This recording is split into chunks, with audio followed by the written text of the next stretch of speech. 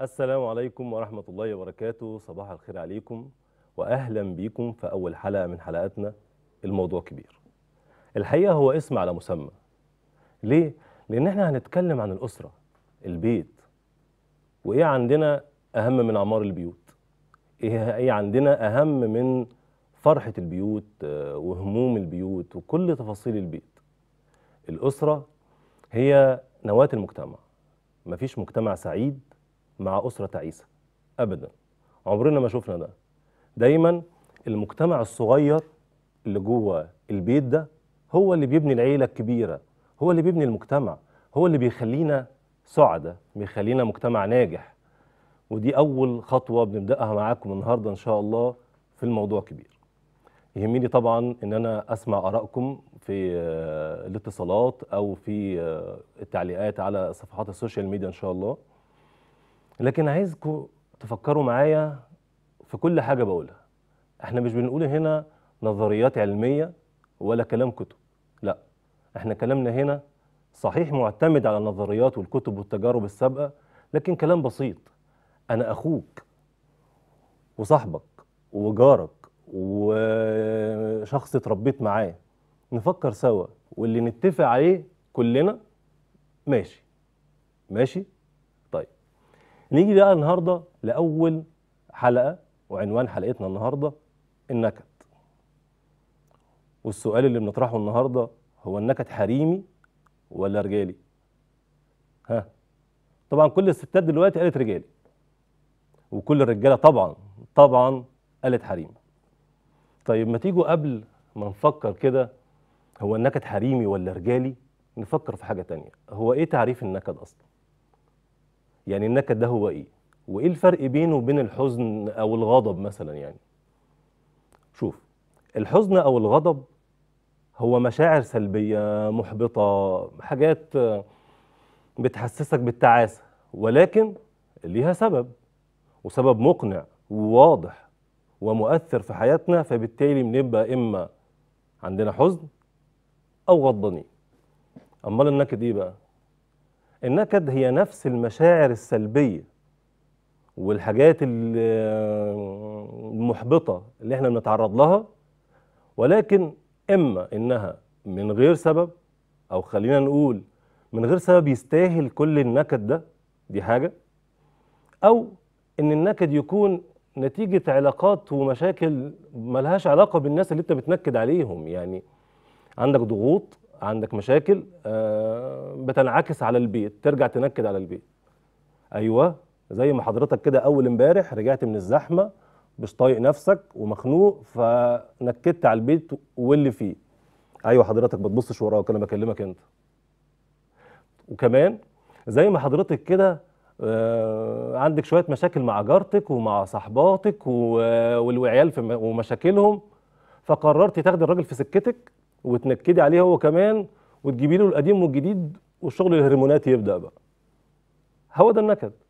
إن أنا أزعل من غير سبب أو أزعل من غير سبب يستاهل أو إن أنا أزعل من حد ملوش علاقة بالحاجة اللي مزعلاني أصلا. هو ده تعريف النكد. إنما أنا أكون حزين أو غضبان لا مش ده اللي إحنا جايين نتكلم عليه النهارده.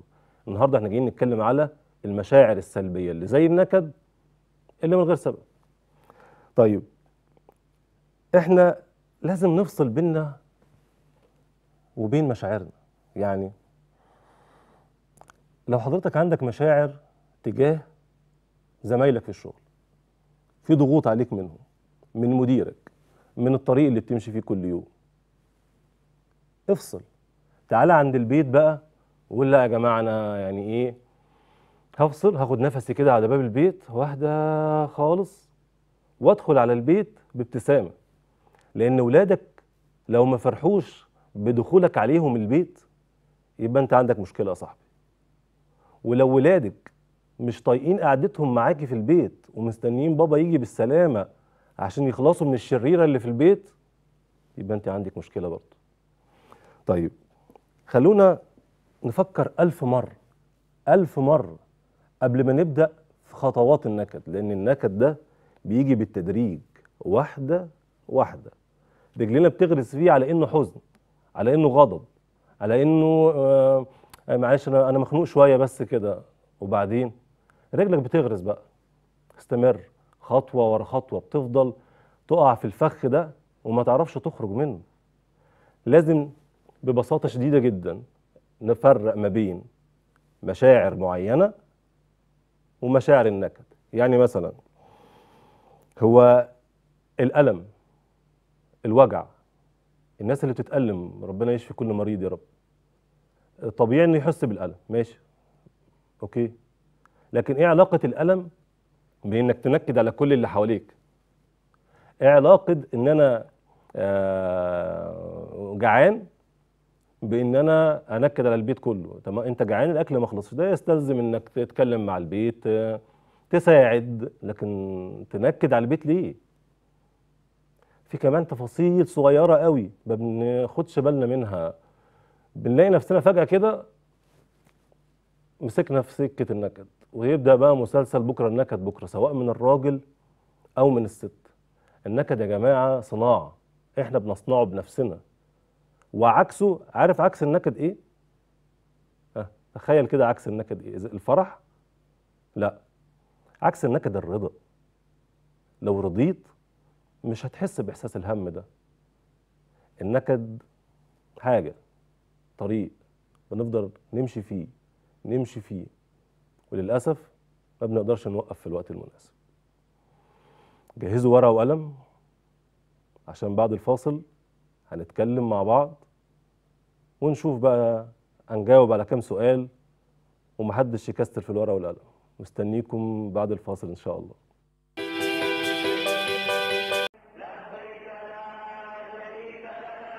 شركة الدرة للسياحة اختر الرفيق قبل الطريق. سنوات من الخبرة في خدمة ضيوف بيت الله الحرام. رعاية خاصة لأهلنا من كبار السن.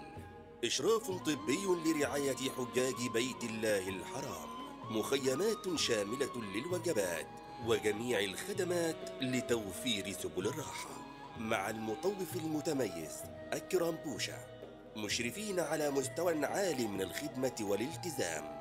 مع نخبة من الدعاة يقدمون ندوات ودروس وإرشاد طوال فترة الحج. فضيلة الشيخ محمد حسين يعقوب فضيلة الشيخ سعد عرفات وفضيلة الشيخ مؤمن الأسود. فنادق على أعلى مستوى. لجميع الفئات راحة وأمان مع وسائل النقل جوا وبرا شركة الدرة للسياحة خدماتنا تتفوق على أسعارنا اتصل بنا الآن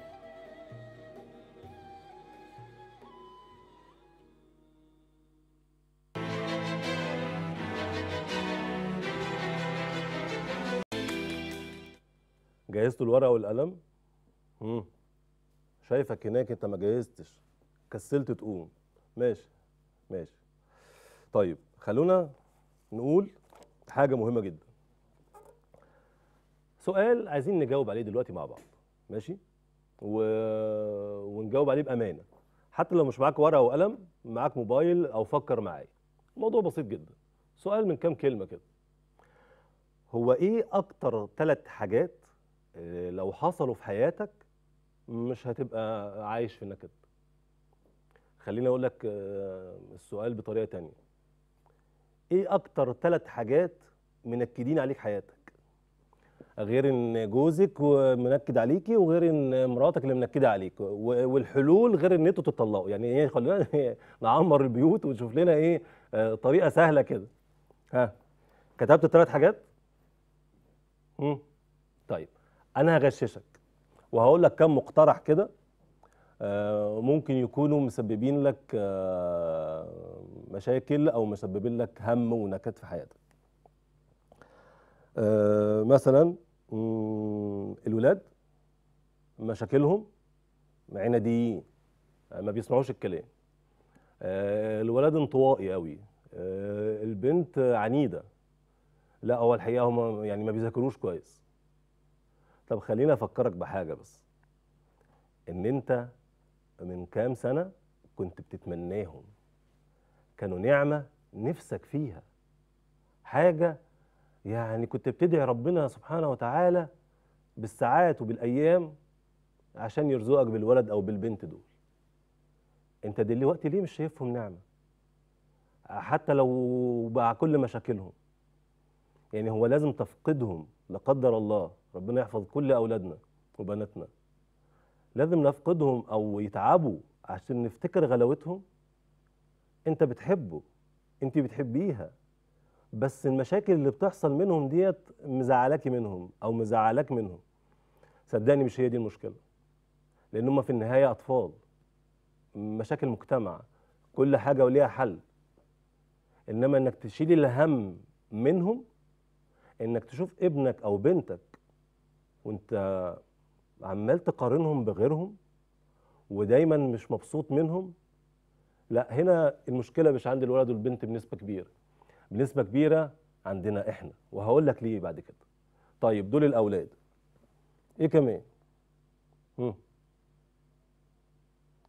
طيب خلونا الأول ناخد تليفون مدام سارة من الهرم. أهلا بيك. أهلا بحضرتك ازي حضرتك أستاذ أحمد عامل أهلا بيك يا رب. آه، حضرتك كنت بتتكلم عن النكد الحريمي أو رجالي تمام؟ صحيح. نوع النكد حريمي أو رجالي. بص هو النكد بيبقى موجود لما بيكون في احتواء. لما يكون الراجل عنده احتواء للست اللي معاه عمر ما هيكون في أي نكد. طيب ده طول ده ما في ثقة ده اللي الراجل إيه؟ ده, ده اللي الراجل ده اللي الراجل مفتقده فهو ما بيحتويش فبيحصل نكد طب لو تمام. الست طب وإيه إيه لا. إيه اللي يخلي بقى ال- الراجل يحس إن مراته نكدت عليه لا ما هو الراجل لو هو محتوي الست الست هتكون نفس الموضوع وفي احتواء عن تجربة ناجحة بيكون العلاقة الزوجية لو استمرت على مدى السنين ما بيحصلش فيها أي مشاكل طيب أنا أنا بس عايز أسأل حضرتك سؤال ده اتفضل. الدور اللي الراجل يقوم المفروض يقوم بيه علشان ما يحصلش نكد إنه يحتوي زوجته طب تمام. الدور اللي الزوجة المفروض تعمله عشان ما يحصلش نكد إيه هو نفس الكلام الاحتواء والاهتمام الشخصي والاهتمام بكل حاجة تخصه آه والمحافظة عليه وعلى علاقاته وعلى حياته الخارجية وأي حاجة بتضايقه ما, ي... ما تعملهاش وما توصلهوش لحاجة زي كده وأي حاجة هو بيحبها تعملها له وتفهمه من نظرة تاني. أنا أنا احييكي وأنا متفق معاكي في كل كلمة قلتيها دلوقتي. تمام. شكرا جزيلا ليكي شكرا. شكرا يا شكرا. طيب آه، نكمل كلامنا. إحنا قلنا قلنا إيه؟ قلنا الأولاد. طيب الفلوس يمكن الفلوس يعني قلة الفلوس هو اللي ممكن يكون عامل آه، الهم والنكد. تفتكر؟ آه، تفتكر لو في فلوس كتير أكتر من من اللي معانا دلوقتي وقادرين نشتري كل حاجة مش هيبقى فيه هم؟ ما أظنش. عارف ليه؟ لأن التجربة بتقول كده. التجربة بتقول واللي إحنا شايفينه قدامنا إن ياما ناس عندها فلوس وعايشة في هم ونكد. مش بس كده ده أنت نفسك. من كام سنة كان دخلك في وضع معين أو في حد معين وعلي الدخل ده لسبب شغل أو لأي حاجة ولسه في نكد أو لسه في هم. يبقى لا الولاد يجيبوا الهم لأنهم نعمة ولا قلة الفلوس تجيب الهم. قلة الفلوس دي تجيب مثلا إنك تبقى حيران شوية آه متضايق شوية آه تتخنق شوية إنما آه إنك تشيل الهم لا ولا الولاد ولا الفلوس ولا الولاد طب المرض؟ أنا وأنت عارفين وأنا وانت عارفين إن المرض ده حاجة إحنا ملناش يد فيها ولا نقدر نعمل فيها حاجة دي حاجة عند ربنا سبحانه وتعالى. ما نقدرش نعمل فيها غير إن إحنا ناخد بالأسباب ونصبر وبس. طيب خلينا أقول ثلاث حاجات من وجهة نظري ممكن الست تقدمهم للراجل علشان ما يحصلش النكد في البيت. يعني ثلاث حاجات الراجل محتاجهم. أول حاجة زي ما الأستاذة سارة قالت الاهتمام. بس اهتمام الراجل اهتمام الدلع مش اهتمام الاحتواء. إنها تهتم بيه وبتفاصيله كراجل يعني. تاني حاجة آه، بعد الاهتمام الوقت المناسب. يعني بص يا ست الكل آه، مش عمال على بطال صفحة الحوادث. في أوقات معينة ينفع نتكلم فيها وفي أوقات لأ أنت ممكن تبيعيه البيت آه، بس بكلمتين حلوين كده. الحاجة الثالثه الطاعة. مفيش راجل في الدنيا يوصف بوصف راجل لا يقبل ابدا ابدا ابدا إنه ما تكونش زوجته مطيعة ليه. لا يمكن. أكتر حاجة تسعده إن زوجته تكون مطيعة ليه. طبعا هو طاعة وهو يكون نفسه طبعا بيراعي ربنا فيها. طيب وثلاث حاجات تانيين بقى للست محتاجاهم برضو الاهتمام. بس زي ما قلنا اهتمام الست احتواء. خلي بالك منها راعيها اهتم بتفاصيلها. الحاجة التانية بتحبها الست قوي وبتهتم بيها وبتحتاجها جدا إن تحس إن جوزها عنده مسؤولية. مسؤول عن كل حاجة عن كل التفاصيل بيهتم بيهتم إنه يقوم بدوره. دوره كرجل ودوره كزوج. لازم يكون عنده المسؤولية ديت. آخر حاجة في النقط اللي تهم الراجل وهو بيتعامل مع الست أو تهم الست إن هو يعملها الراجل آه هم عمالين يقولوا لي في تليفون حاضر حاضر والله حاضر. آه الإخلاص اللف والدوران بقى والعاطف بتاع زمان ماشي يا صاحبي خف بقى. خلاص الكلام ده خلص أنت راجل مسؤول دلوقتي. ناخد ندى من الاهليه اتفضلي.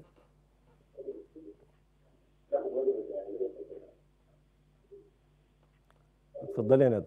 أنا سامعك. وطي التلفزيون بعد إذنك.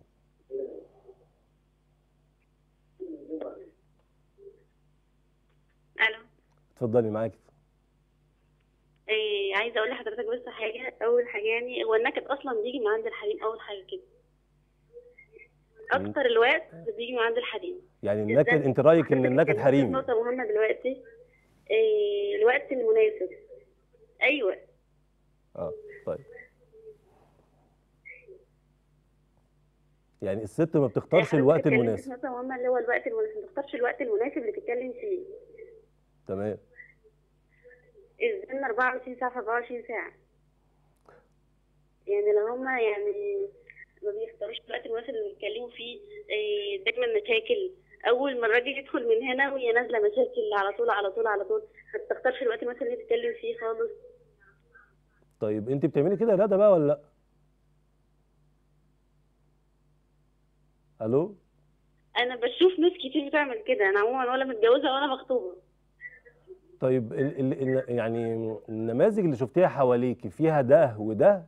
يعني فيها اللي بتقابل كويس وفيها اللي بتقابل اللي, اللي عمال على بطال نكد في كل وقت 24 ساعة. شفتي النموذجين؟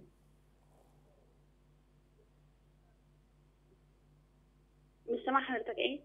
ألو. النموذجين انت شفتيهم؟ شفتي نموذج الست اللي بتقابل جوزها كويس وما وبتختار الوقت المناسب والست اللي ما بتختارش الوقت المناسب؟ ألو طيب. الاتصال اتقطع آخر آخر حاجة يا جماعة قبل ما نطلع الفاصل ما تسيبش مراتك تعمل كل حاجة جوه البيت وبره البيت وبعدين ترجع تقول ما بقتش ست وانت كمان. ما تطلبيش إن جوزك يكون تابع ليكي. وترجعي تقولي بعد كده ده راجل زي قلته. نرجع بعد الفاصل وخلي بالكم أنا هاخد الغياب محدش يروح هنا ولا هنا. نطلع الفاصل. الحمد لله على السلامة. آه، خدنا الغياب وكل الناس موجودة أهو ما شاء الله. كده النكد لا حريمي ولا رجال يا جماعة. النكد ضغوط ضغوط نفسية. كل اللي بيحصل إن الطرف الأضعف اللي ما بيقدرش يتحمل الضغوط دي بيبدأ النكد وتبدأ بقى سلسلة النكد بكرة. صح كده؟ عندي كام فكرة بسيطة عايز أقولها لكم. خلونا نطبق اللي نقدر عليه منها ومستني طبعا تعليقاتكم على على الفيسبوك إن شاء الله وعلى اليوتيوب آه، ونعرف رأيكم في الحلول دي. أول حاجة حافظوا على أذكار الصباح والمساء. الأذكار مش مجرد كلام دي صورة ذهنية بتتحفر في ذهننا. يبقى أول حاجة أذكار الصباح والمساء. تاني حاجة صلوا مع بعض جماعة. وادعي يا عم ادعي وخليهم يأمنوا وراك. اسمع كلامي ربنا هيستجيب. وكمان ادعوا لبعض ادعوا لبعض ظهر الغيب. الوقت اللي بتضيعيه في انك تحاسبيني عليه ادعي له أحسن هيبقى كويس.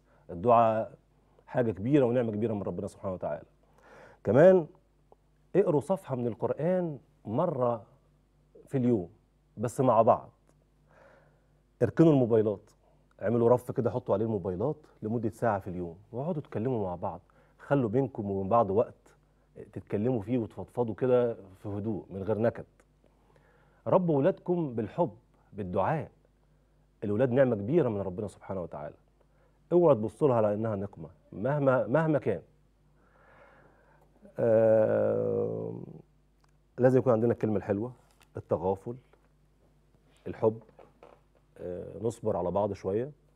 آخر حاجة ما أقدرش أختم أول حلقة الا لما أشكر آه، كل فريق الإعداد و- وشباب اللي معانا في التصوير هنا وفي الكنترول وشكر كبير جدا ليهم إن هم سبب في خروج أول حلقة على خير وقدامنا مشوار كبير إن شاء الله.